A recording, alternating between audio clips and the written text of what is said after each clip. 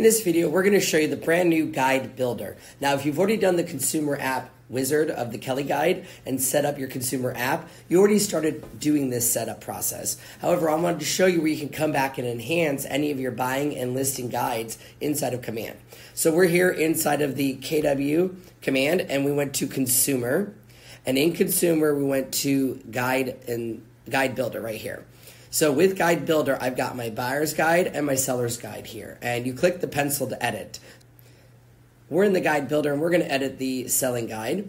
And here's the way here. Now, I've already added three steps that were not here. Your guide is going to start with showing your home, reviewing offers, inspection, appraisal, and close. So you're able to add a step here at the bottom by just tapping add a step.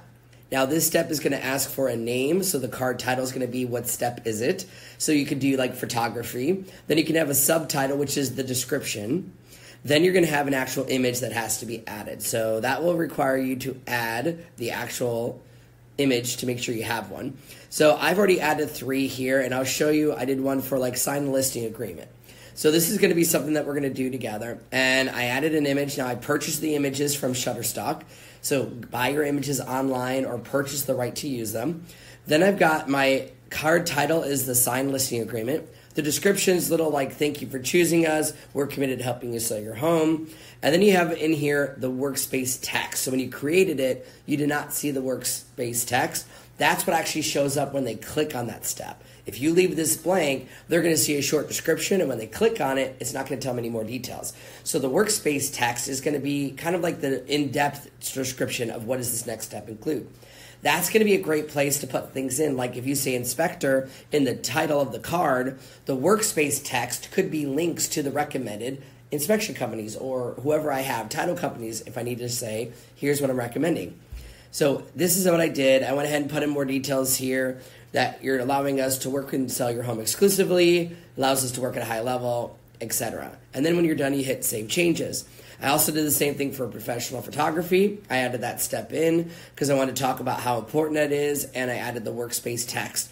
Same thing with social media strategy, purchase the image, put in here that we have a social media strategy to make the home go viral, focus on the fact of how important Facebook is, and then in my long description, I talked about how Keller Williams has an exclusive relationship with Facebook that they have helped us build our artificial intelligence around the Facebook ads to maximize our spending budget and the amount of leads that we capture. So I thought these are just some great things I can add.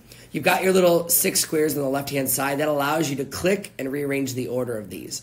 So you're able to customize them, delete them, change anything that's here existing. So if I said review offers, here's what's already written for me. It's already got my workspace to text and everything in here. You can customize any of it. And that's it. And when you're done, you just hit the save changes, and the app will automatically get the latest version of this guide. There is also the introduction section that you can come back and customize. That's what happens when they say, I'm thinking about selling my home. They'll get this congratulations screen, and you can customize it here as well. And that's it. That's how you customize the guide builder. Thanks so much for watching. If you enjoyed this, give it a like. Leave us a comment below. I'd love to hear from you. And as always, follow me on KW Connect and YouTube today.